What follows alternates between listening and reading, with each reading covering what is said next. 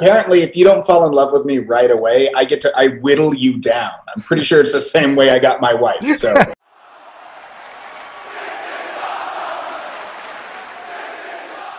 Oh, put a pin in it. Look at that.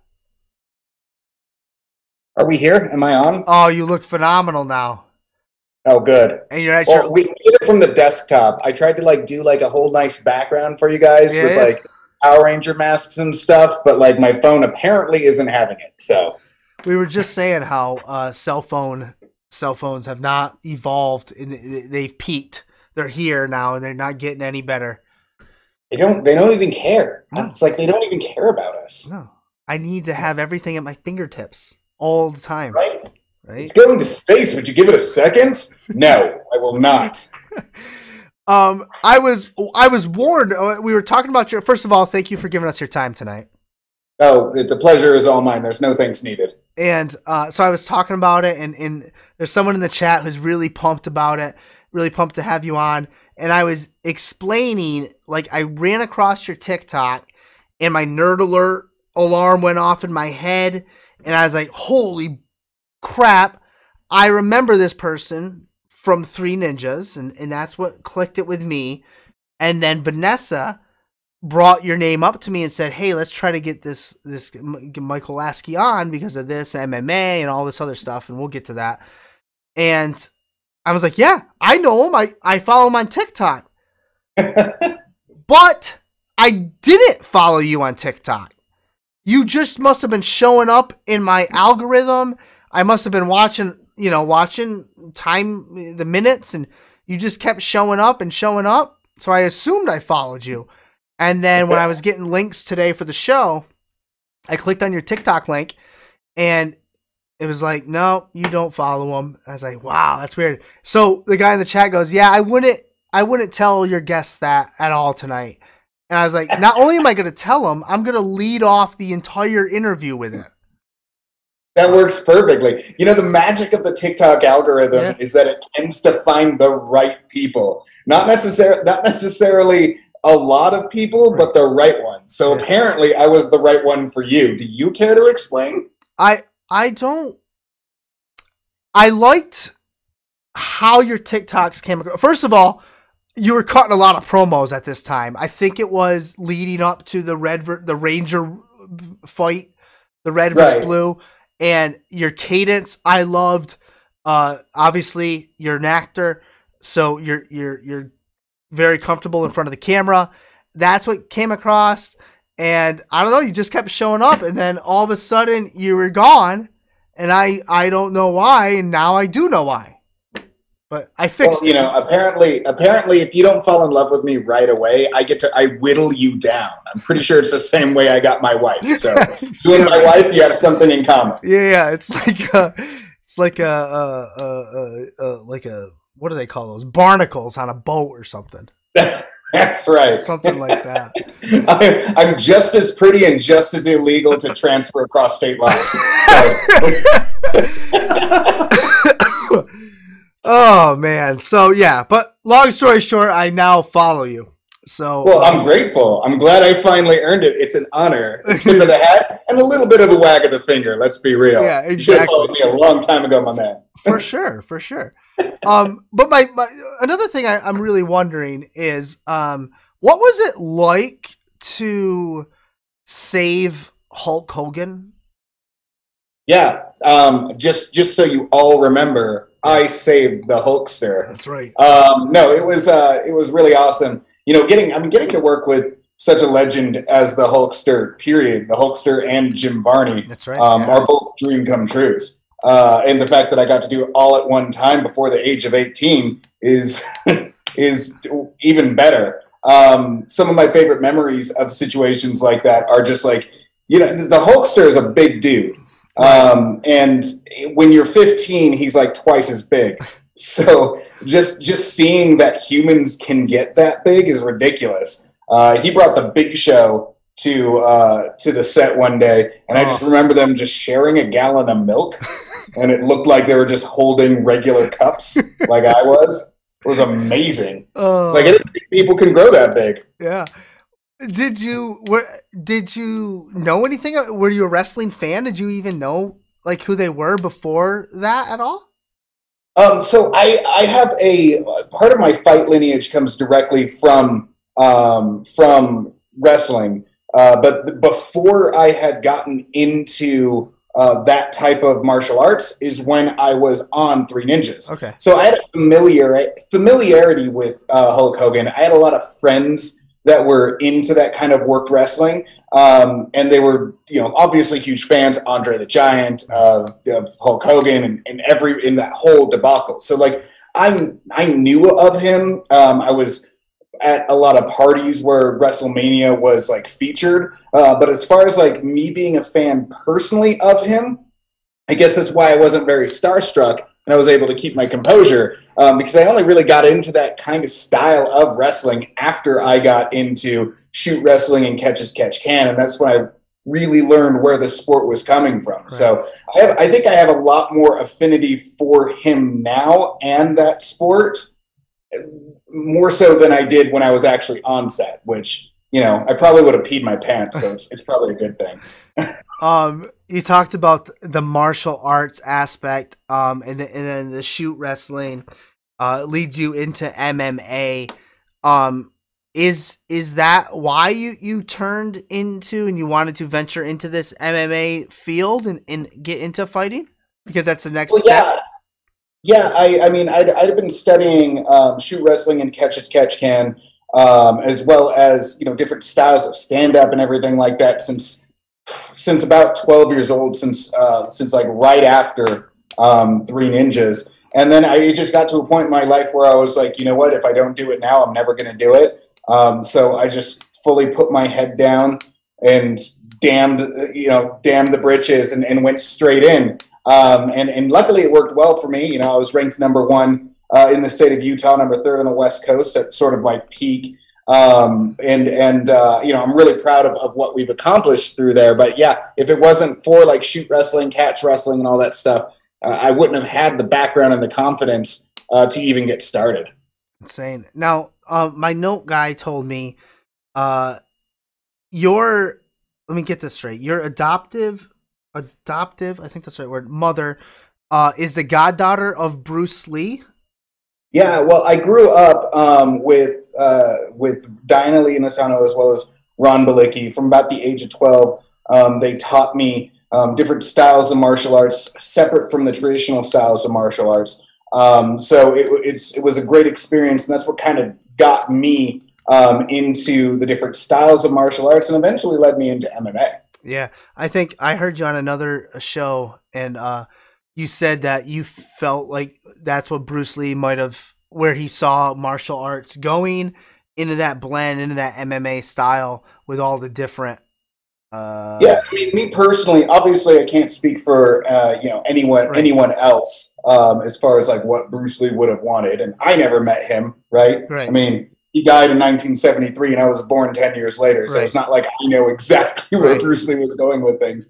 But I think the logical next step for uh, for his philosophy of martial arts, JKD, was to move directly into uh, mixed martial arts. I don't see how it could it could it couldn't have gone anywhere else. Right. Um, so that's why you know I, I thought that it was it, for my training the next best step would be actually taking a step further um, go a little bit further beyond um, some of where the students are taking it now and actually try to apply that stuff um, in a cage set environment uh, where you know there there are no what ifs right? You, you, mm-hmm. either win or you lose and i've won some and i've lost lost some and you know that's that's part of the game. Yeah.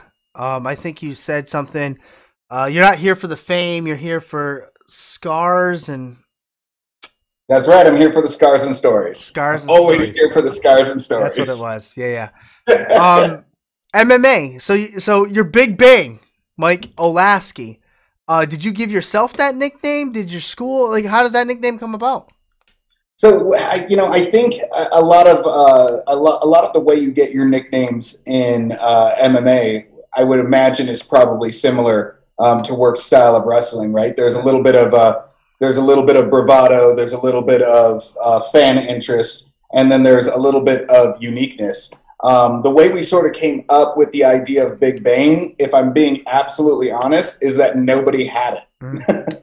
um, you know, there can only be so many pit bulls. There can be only so many assassins. there can only there can only there can only be so many soul crushers. Um, Big Bang was a name uh, that really spoke to me and the people that I was training with um, because I'm a fan of science. Um, I'm a fan of hitting things, and uh, you know, if not actually um, creating children, then participating in the activities that children might be created in.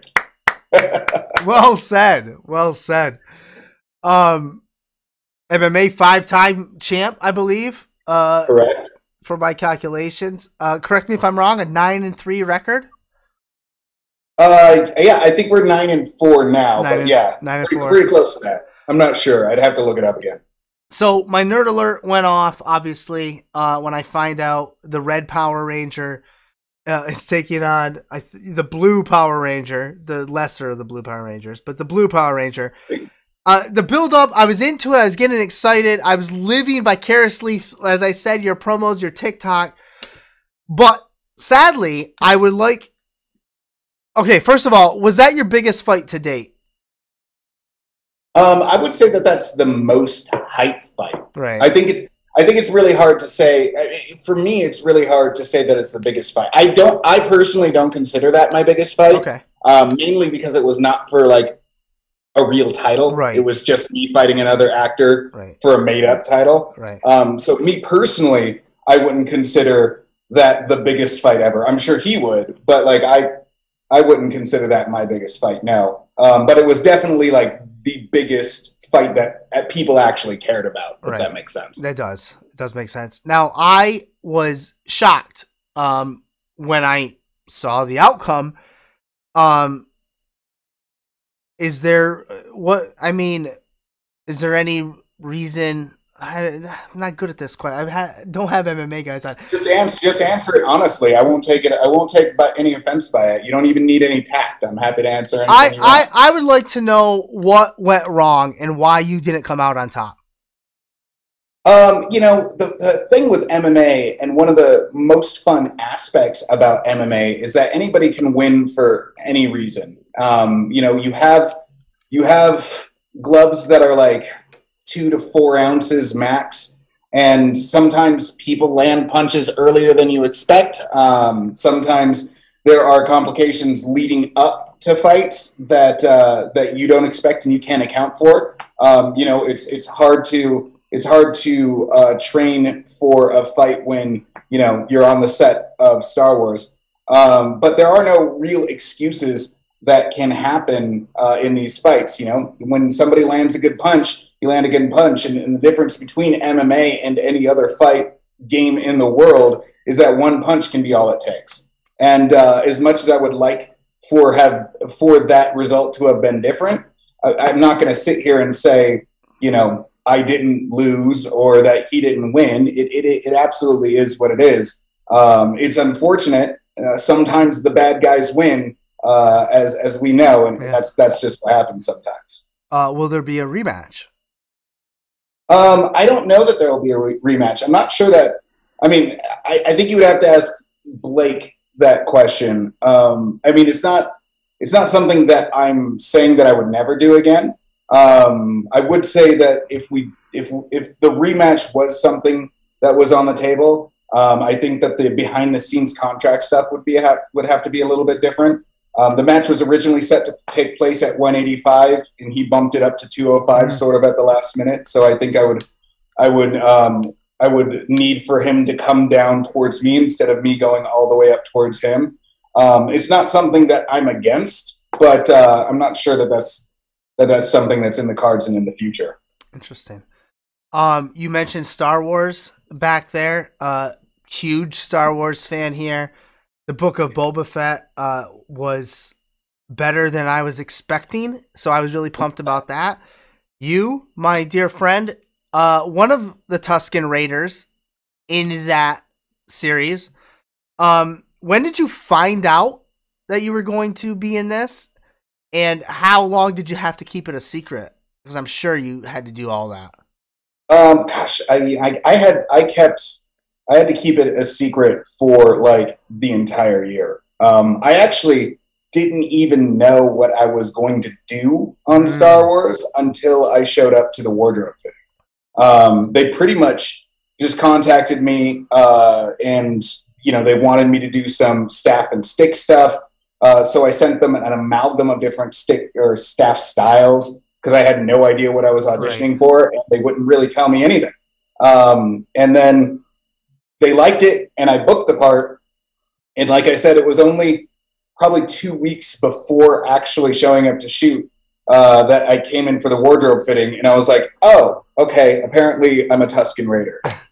So the, the weird thing about Star Wars was that I, I, I think that Star Wars is such a big project that they don't even uh, they don't they just offer parts and they're like if you if you want it you want it if you if you don't you don't right. you know what I mean yeah um, so uh, yeah I had no idea what was going on middle of COVID we drove down there and uh, and yeah uh, we we found out we were Tusken Raiders like insane two weeks before the before the shoot. Are you a fan of Star Wars? Uh, I I am a fan of Star Wars. I've always understood Star the the appeal to Star Wars as far as like being being a go to um, right. uh, a go to franchise for me. Probably not so much. Um, you know, I'm more of a Doctor Who fan. Oh yeah. uh, that's just me personally. Uh, but I, I love I love Star Wars. I love what it's done for swordplay. I love how I have a lot of friends that are super close uh, to the franchise. Um, so being a part of it is just an honor and a privilege. Oh man, so I didn't even have any Doctor Who stuff on here. That's awesome. On my porch, uh, my front door, you go out and there's like a porch and a deck. To the left of my door is like this wooden. It's like I don't know what it is, but it's like an L shaped and it's all wooden. And what we did was my daughter, I have three daughters, one of them, the oldest one for her ninth birthday when she was nine, wanted to have a Doctor Who birthday party because she loves Doctor Who. So we bought a TARDIS tablecloth and we did the party and whatnot. I saved the tablecloth, have put it over this thing and like stapled it to it. So it just looks like the TARDIS is sitting on my front porch. You would not believe all the remarks I get. Love the TARDIS. Love the TARDIS. The mailman just is in total in love with it.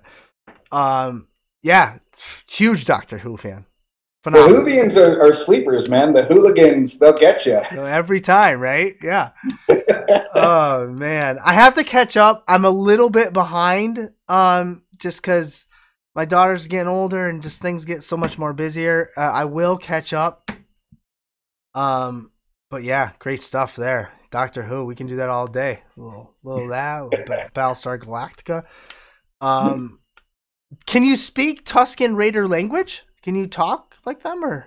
Uh, no, actually, uh, they they didn't um, they didn't really teach us much of any of like the language or anything. Um, I know uh, I know that they incorporate a lot of um, the Native American or Indigenous peoples' uh, sign language yeah. that predates ASL um, into uh, into the actual language. Um, but we didn't we didn't have parts that necessarily needed to have those like uh, being more being more physically oriented. Right. We really didn't have to have like any kind of character interaction.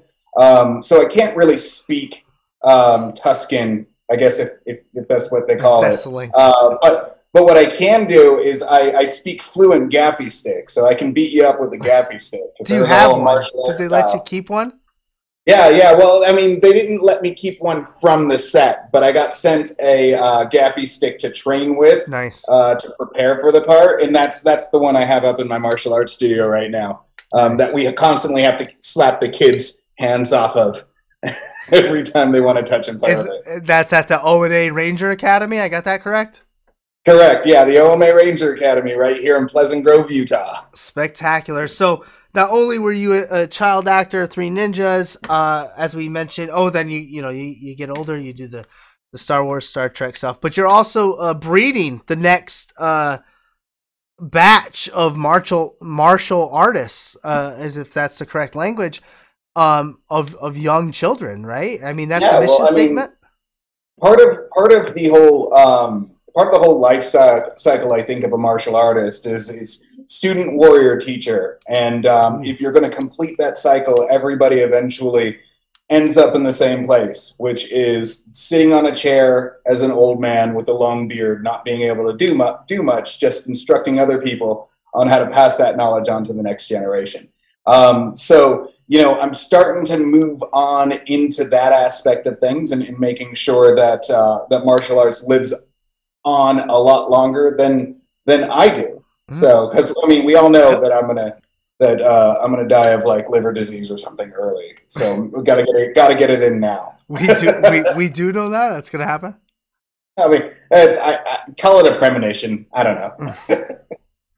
um, I liked the uh, the the student teacher student warrior teacher was that the order student warrior teacher yeah yeah that was that was very star wars ish uh for sure um, well and it makes sense yeah. because star wars draws a lot of um of uh inspiration from uh japanese kabuto style japanese old school japanese uh samurai style films and so that i mean it makes complete sense uh, we did mention Star Trek a little bit back there. I'm not the biggest uh, Star Trek fan, but I do have someone in the chat here, Marie Shadows, who is a big Star Trek fan, and she would like me to ask you, uh, do you appreciate it? Were you a fan? Um, and, and what you what did you do? What what part did you play in Star Trek? Um, I played a uh, Star Trek MACO or a, an Enterprise MACO warrior in uh, Star Trek Enterprise. Mm-hmm. Um, so apparently there were the this elite group of um, anti like intergalactic anti terrorists. Um, I ended up saving Scott Bakula and uh, ultimately sacrificing my life for uh, for the Enterprise. And since Enterprise is a pre- is a prequel, I always joke with all of my all of my Trekkie friends that I'm like, technically, since I saved Scott Bakula, I saved the galaxy um, none of your favorite Star Trek shows would be available without me. So just just saying. um, but yeah, so I, I, played I played what's called a MACO, and uh, um, it was it was a fun thing. I, I fought I fought a Xindi. We got in a good good tussle, and he ended up nice knifing me in the stomach mm. and throwing me down a hatch. So man, it sounds so much fun. It was a lot of fun. It was a lot of fun. I think uh, the only the only sad thing is that I, I I wasn't wearing a red uniform when I got killed, ah. and I knew I was going to die when I took the part, but I was kind of hoping, like fingers crossed, that I'd get to wear the red when dying. But you know, just wasn't in the cards, I guess. Next time. Next time. next time. Yeah, when they kill me next time in Star Trek. next time they kill you on Picard. Uh, I love it. You can wear the red. Um, Strange worlds they find me again. right? Yeah, different time, different universe. Yeah. A lot of multiverse stuff going on for sure. Um, we mentioned TikTok to kick off this this spot here.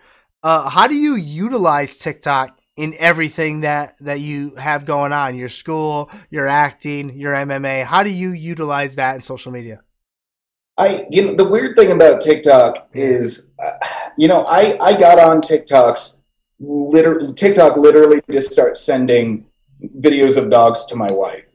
um, and then I just decided that TikTok was going to be the most like authentic version of me that I'm willing to uh, that I'm willing to present online. Uh, a lot of my social media is manicured. Like you know, I have a personal Facebook page and a and a professional Facebook page, and then my Instagram is pretty professional. Uh, but you know, when it was coming on TikTok, it wasn't like it, then it wasn't like a super huge platform in the way it is now. And I was just like, you know what? I'm just going to say everything that I think, and if I think it, I'm going to say it.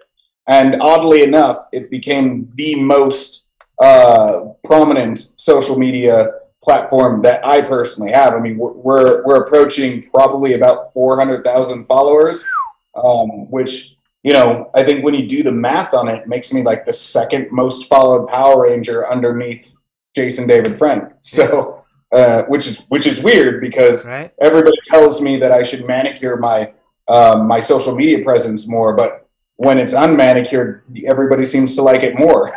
so I don't know what to do. I think you said it perfectly. You said you want it to be the most authentic version of you, and I think that's what drew me uh, before I followed you. that was drew me to all your TikToks was that you came off so real and authentic, and and I was like, man, this guy's great, and I think maybe I saw something on Three Ninjas. I was like, I remember that.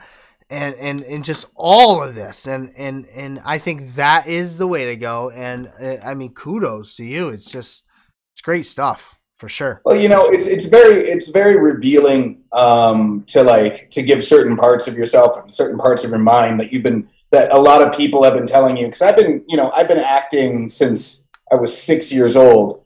And from the early 90s obviously a manicured approach to uh, promoting yourself has been the way to go. Um, and I think a lot of people who don't understand this nowadays that you know being authentic and real and approachable um, is is much more beneficial. Uh, and I didn't realize that until I was just like, well, this one's just for me. If you hate the stuff that I say, good for you. You can follow me on Instagram because all of that stuff isn't on Instagram, right? Right? Yeah. Yeah. Um, we're nearing the end of the show here, Mike. First of all, you've been an absolute authentic pleasure to have on. Um, I would like to ask you this one last question before I give you the mic, and you can put over anything you want. Let us know what you got going on. Um, but who is the best Batman? Um, the best Batman is Will Friedle as Batman Beyond. Ooh, that's our first one for Batman Beyond. Well done. That is that is that a good thing or a bad thing? I don't know. You see the stream. Is everybody mad at me right now? No, no. Oh, somebody said Christian fucking Bale. So I guess they didn't like that pick. Um, yeah. I personally, I can't ever remember who I picked. I, uh, I don't. I think maybe I picked uh, Michael Keaton.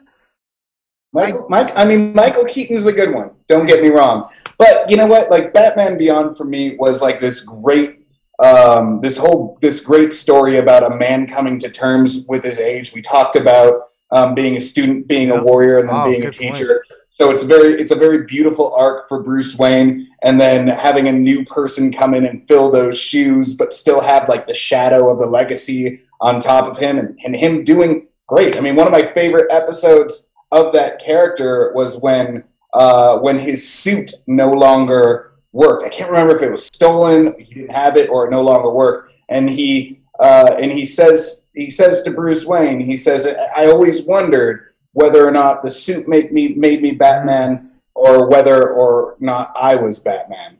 And uh, I think that that was like the best thing that somebody can say to me because, like, I think I think I think Batman is is what somebody does, not necessarily the gadgets or gizmos they have. Right. Um, so that's that's the reason, sort of, for that pick. Well done. Yeah. Well, thank you. Yeah, I like that. Um, yeah. So you've been awesome, phenomenal. Well, thank you. You're a, you are a great human being. Um, I would, I would, I would curtsy, but I'm already sitting. Exactly. I'm standing because, as we found out earlier, I had to continue that gimmick of the standing streamer, which I started a long time ago when I was playing actual games on here. Uh, so I can know I, I have to keep standing, but I guess that's good for me. Allegedly, I don't know, but it's at right. It's at that time of the show. I'm going to give you the mic now. You can put over anything you want let us know what you got coming up. Plug your O and A or, or anything. It doesn't matter to me. The floor is yours. I will not interrupt. Well, thank you guys. It's such an honor and a privilege to be on this show. Thank you so much for asking, and thank you so much for having me. Thank you, everybody who's listening right now to my dumb and to listening to my dumb voice and my dumb face. I appreciate you guys every day. Um, I'm on social media all the time. Uh, if you don't already follow me, um, you're probably going to eventually because I continue to do it and I'm always in your face about it. Um, follow me on TikTok at Big Bang Mike, um, my Instagram at Big Bang Mike underscore. You can follow me on Facebook at Big Bang Mike Rocks. Um, I go to Comic Cons occasionally. Uh, it's not necessarily my jam. I don't do it a lot. Um, but just if you're following those social medias, you kind of get get in lockstep with what I'm doing um, and uh, and where I'm going. If you guys have a chance to see me in person, uh, don't hesitate to come up to me and say hi, whether it be at a Comic Con or whether you just see me in a damn Walmart. So, um, guys, it's it's the pleasure is absolutely mine because I'm a greedy person and I'm taking it all all the way from my hosts. Spectacular. Have yourself a wonderful night. Thank you for giving us your time, and thank your wife for letting us borrow you for the night. uh, I will definitely do that, and I'm sure she is grateful as well. Have yourself a wonderful night. We'll see you around. All right, you guys have a good night. Yep, peace. Oh, spectacular stuff, Vanessa.